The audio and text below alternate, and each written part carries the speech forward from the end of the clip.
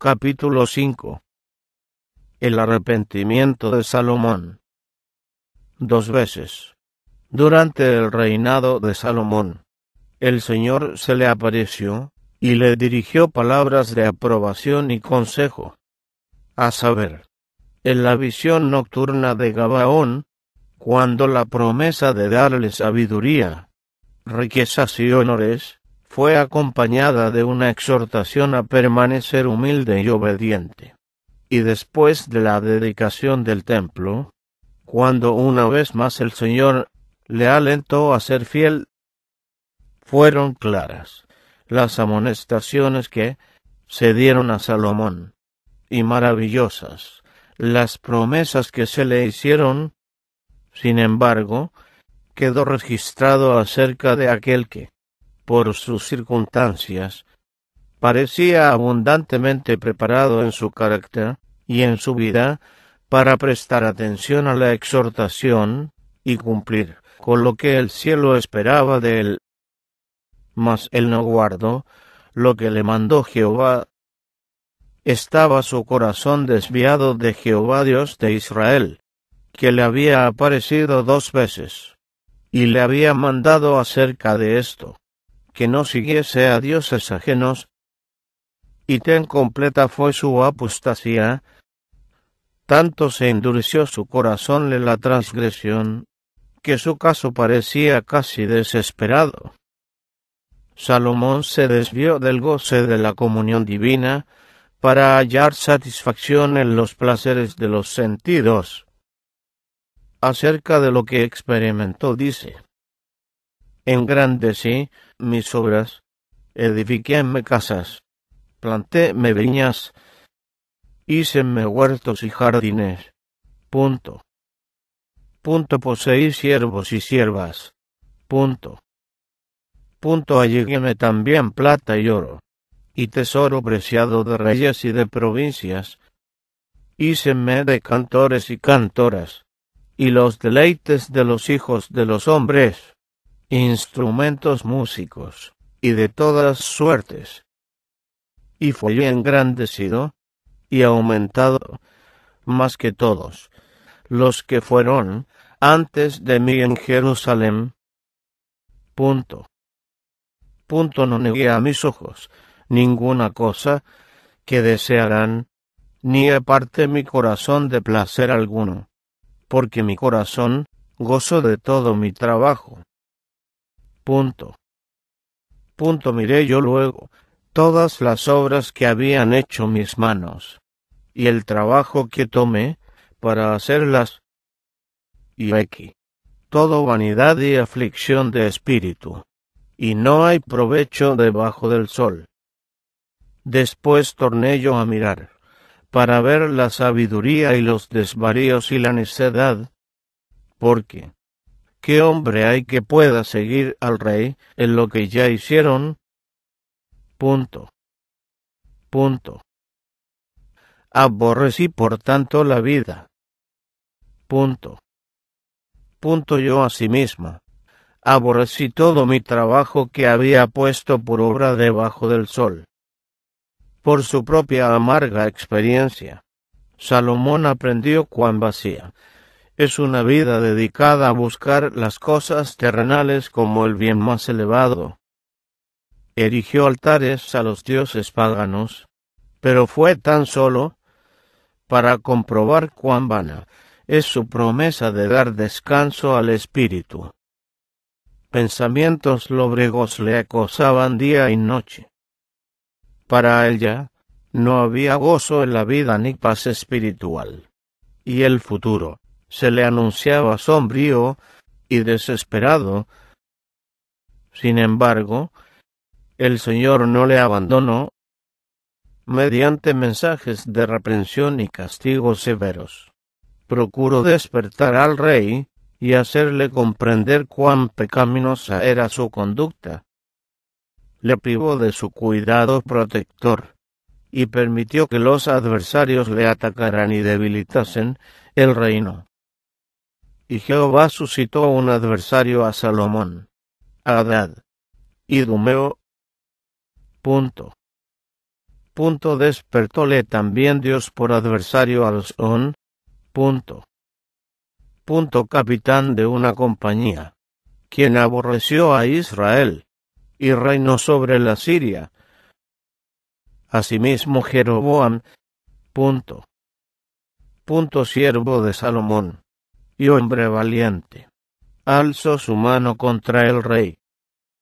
A la postre, el Señor envió a Salomón, mediante un profeta, este mensaje sorprendente. Por cuanto ha habido esto en ti, y no has guardado mi pacto y mis estatutos que yo te mandé, romperé el reino de ti, y lo entregaré a tu siervo. Empero no lo haré en tus días, por amor a David tu padre. Romperé lo de la mano de tu hijo. Despertando como de un sueño al oír esta sentencia de juicio pronunciada contra él y su casa, Salomón sintió los reproches de su conciencia y empezó a ver lo que verdaderamente significaba su locura. Afligido en su espíritu, y teniendo la mente y el cuerpo debilitados, se apartó cansado y sediento de las cisternas rotas de la tierra, para beber nuevamente en la fuente de la vida. Al fin, la disciplina del sufrimiento realizó su obra en su favor durante mucho tiempo. Le había acosado el temor de la ruina absoluta que experimentaría si no podía apartarse de su locura, pero discernió finalmente un rayo de esperanza en el mensaje que se le había dado. Dios no le había cortado por completo, sino que estaba dispuesto a librarle de una servidumbre más cruel que la tumba, servidumbre de la cual Eriosmo no podía librarse. Con gratitud Salomón reconoció el poder y la bondad de aquel que es el más alto sobre los altos, y con arrepentimiento comenzó a desandar su camino, para volver al exaltado nivel de pureza y santidad del cual había caído. No podía esperar que escaparía a los resultados agostadores del pecado, no podría nunca librar su espíritu de todo recuerdo de la conducta egoísta que había seguido, pero se esforzaría fervientemente por disuadir a otros de entregarse a la insensatez, confesaría humildemente el error de sus caminos, y alzaría su voz para amonestar a otros. No fuese que se perdiesen irremisiblemente por causa de las malas influencias que él había desencadenado, el verdadero penitente no echa al olvido sus pecados pasados, no se deja embargar tan pronto como ha obtenido paz por la despreocupación acerca de los errores que cometió. Piensa en aquellos que fueron inducidos al mal por su conducta y procura de toda manera posible hacerlos volver a la senda de la verdad, cuanto mayor sea la claridad de la luz en la cual entró.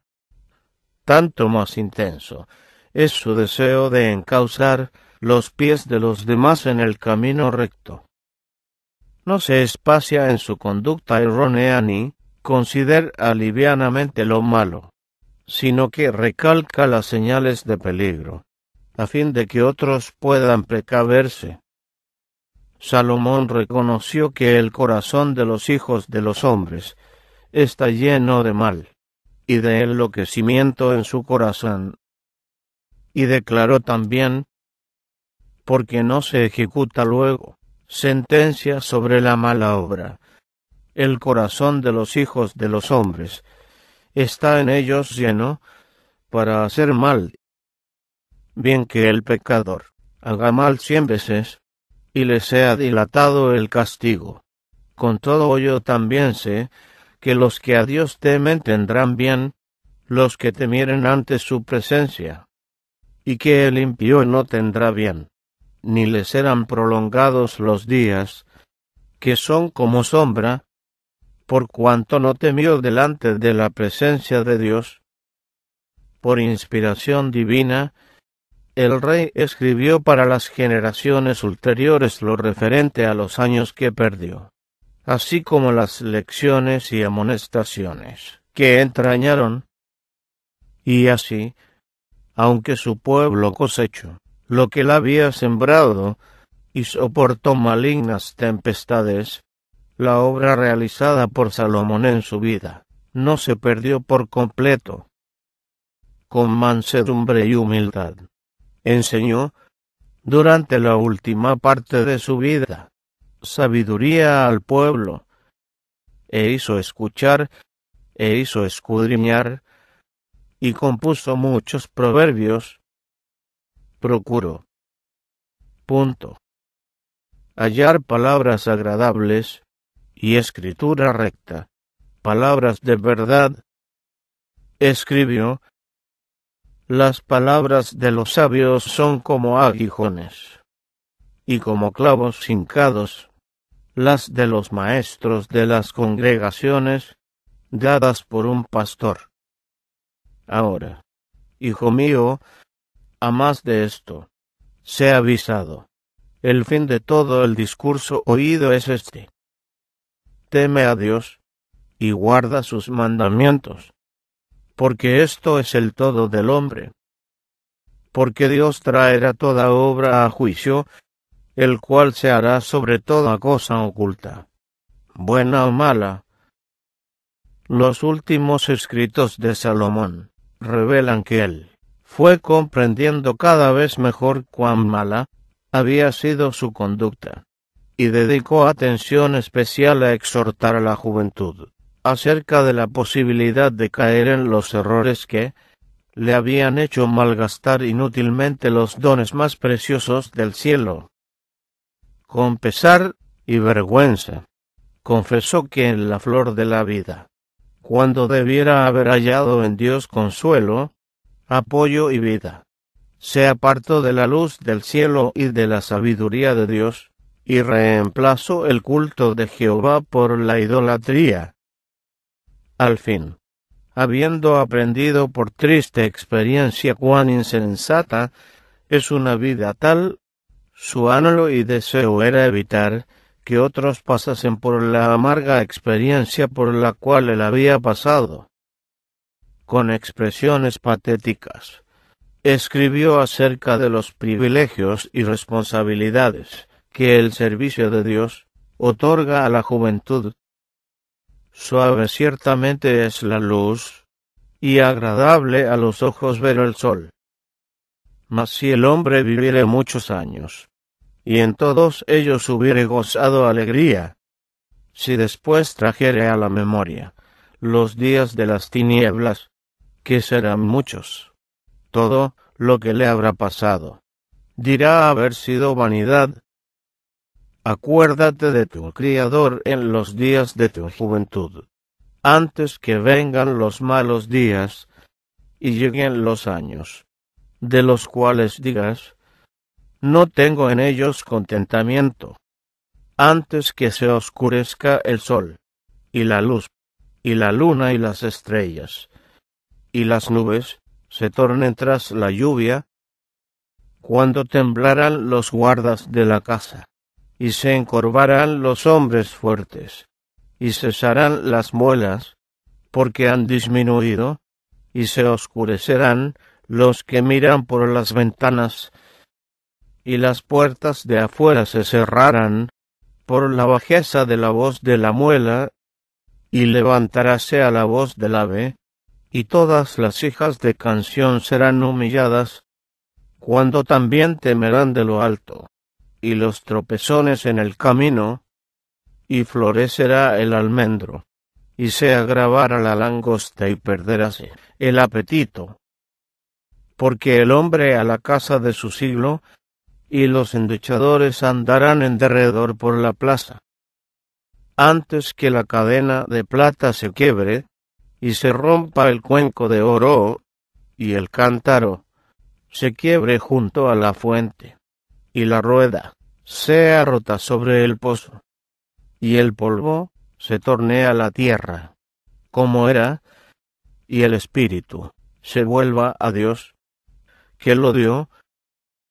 La vida de Salomón rebosa de advertencias, no sólo para los jóvenes, sino también para los de edad madura, y para los que van descendiendo por la vertiente de la vida hacia su ocaso. Oímos hablar de la inestabilidad de los jóvenes que vacilan entre el bien y el mal, así como de las corrientes de las malas pasiones que los vencen. En los de edad más madura, no esperamos ver esta inestabilidad e infidelidad. Contamos con que su carácter se habrá establecido y arraigado firmemente en los buenos principios. Pero no siempre sucede así. Cuando Salomón debiera haber tenido un carácter fuerte como un roble, perdió su firmeza y cayó bajo el poder de la tentación. Cuando su fortaleza debiera haber sido inconmovible, fue cuando resultó más endeble. De tales ejemplos debemos aprender que en la vigilancia y la oración se halla la única seguridad para jóvenes y ancianos. Esta seguridad no se encuentra en los altos cargos ni en los grandes privilegios. Uno puede haber disfrutado durante muchos años de una experiencia cristiana genuina y seguir, sin embargo, expuesto a los ataques de Satanás en la batalla con el pecado íntimo y las tentaciones de afuera, aun el sabio y poderoso Salomón fue vencido. Su fracaso nos enseña que, cualesquiera que sean las cualidades intelectuales de un hombre, y por fielmente que haya servido a Dios en lo pasado, no puede nunca confiar en su propia sabiduría e integridad en toda generación y en todo país. Se tuvo siempre el mismo verdadero fundamento y modelo para edificar el carácter, la ley divina que ordena. Amarás al Señor tu Dios de todo tu corazón, punto. Punto. Y a tu prójimo como a ti mismo el gran principio manifestado en el carácter y la vida de nuestro Salvador, es el único fundamento seguro, la única guía fidedigna. Y reinarán en tus tiempos la sabiduría y la ciencia, y la fuerza de la salvación, la sabiduría, el conocimiento que sólo puede impartir la palabra de Dios, estas palabras dirigidas a Israel acerca de la obediencia a los mandamientos de Dios. Esta es vuestra sabiduría y vuestra inteligencia en ojos de los pueblos. Encierran tanta verdad hoy como cuando fueron pronunciadas. Encierran la única salvaguardia para la integridad individual, la pureza del hogar, el bienestar de la sociedad o la estabilidad de la nación. En medio de todas las perplejidades y los peligros de la vida, así como de los acertos contradictorios, la única regla segura consiste en hacer lo que Dios dice. Los mandamientos de Jehová son rectos, y el que hace estas cosas no resbalará para siempre. Los que escuchen la amonestación que encierra la apostasía de Salomón evitarán el primer paso hacia los pecados que le vencieron, unidamente la obediencia a los requerimientos del cielo, guardará de la apostasía a los hombres. Dios les concedió mucha luz y muchas bendiciones, pero a menos que acepten esa luz y esas bendiciones, ellas no les darán seguridad contra la desobediencia y la apostasía. Cuando aquellos a quienes Dios exaltó a cargos de gran confianza se apartan de él para depender de la sabiduría humana. Su luz se trueca en tinieblas. La capacidad que les fuera dada llega a ser una trampa. Hasta que el conflicto termine, habrá quienes se aparten de Dios. Satanás ordenará de tal manera las circunstancias que, a menos que seamos guardados por el poder divino, ellas debilitarán casi imperceptiblemente las fortificaciones del alma. Necesitamos preguntar a cada paso, ¿es este el camino del Señor mientras dure la vida? Habrá necesidad de guardar los afectos y las pasiones con propósito firme ni un solo momento podemos estar seguros, a no ser que confiemos en Dios y tengamos nuestra vida escondida en Cristo. La vigilancia y la oración son la salvaguardia de la pureza. Todos los que entren en la ciudad de Dios lo harán por la puerta estrecha, con esfuerzo y agonía, porque no entrará en ella ninguna cosa sucia, o que hace abominación. Pero nadie que haya caído necesita desesperar. Hombres de edad, que fueron una vez honrados por Dios, pueden haber manchado sus almas y sacrificado la virtud sobre el altar de la concupiscencia. Pero si se arrepienten, abandonan el pecado y se vuelven a su Dios, sigue habiendo esperanza para ellos. El que declara, sé fiel hasta la muerte, y yo te daré la corona de la vida, formula también esta invitación. Deje el impío su camino, y el hombre inicuo sus pensamientos, y vuélvase a Jehová, el cual tendrá de él misericordia, y al Dios nuestro, el cual será amplio en perdonar. Dios aborrece el pecado, pero ama al pecador. Declara. Yo medicinaré su rebelión, amar en los de voluntad. El arrepentimiento de Salomón fue sincero, pero el daño que había hecho su ejemplo al obrar mal no podía ser deshecho. Durante su apostasía, hubo en el reino hombres que permanecieron fieles a su cometido y conservaron su pureza y lealtad, pero muchos fueron extraviados, y las fuerzas del mal desencadenadas por la introducción de la idolatría y de las prácticas mundanales, no las pudo detener fácilmente el rey penitente su influencia en favor del bien quedó grandemente debilitada. Muchos vacilaban cuando se trataba de confiar plenamente en su dirección. Aunque el rey confesó su pecado y escribió, para beneficio de las generaciones ulteriores, el relato de su insensatez y arrepentimiento. No podía esperar que fuese completamente destruida la influencia funesta de sus malas acciones, envalentonados por su apostasía, muchos continuaron obrando mal, y solamente mal, y en la conducta descendente de muchos de los príncipes que le siguieron, puede rastrearse la triste influencia que ejerció al prostituir las facultades que Dios le había dado en la angustia de sus amargas reflexiones sobre lo malo de su conducta. Salomón se sintió constreñido a declarar Mejor es la sabiduría que las armas de guerra, más un pecador destruye mucho bien. Hay un mal que debajo del sol he visto, a manera de error emanado del príncipe, la necedad está colocada en grandes alturas. Las moscas muertas hacen heredar mal olor el perfume del perfumista. Así, una pequeña locura, al estimado por sabiduría y honra, entre las muchas lecciones enseñadas por la vida de Salomón ninguna se recalca tanto como la referente al poder de la influencia para el bien o para el mal, por limitada que sea nuestra esfera.